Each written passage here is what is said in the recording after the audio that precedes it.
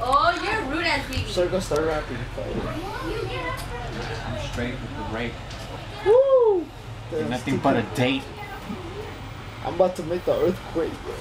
Because you a motherfucking fake. I drink about 50 beers. I'm tired of hanging with queers. They don't get near. soon as they get close, I'm like, why are you getting near? Fuck away from me. Fucking faggot. Spread them and let them stick them in your. Take your Twinkie up and shove it in and let steam out. Introduce the Twinkie to the pinky. God damn, that's kinky. Damn, that's kinky. That is some kinky shit. Who knows your name? Especially when my dick gets erect.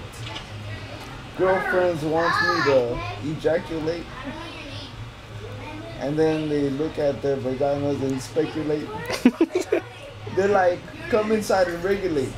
I said butterfly. Oh, I thought you said my name. And then the vaginas gets red and it irritates, so they gotta put some Vagisil. After I'm done, they're like, damn, that's a kill. Cause I popped. Oh, I have to play this. uh, Show, show. nah, I never.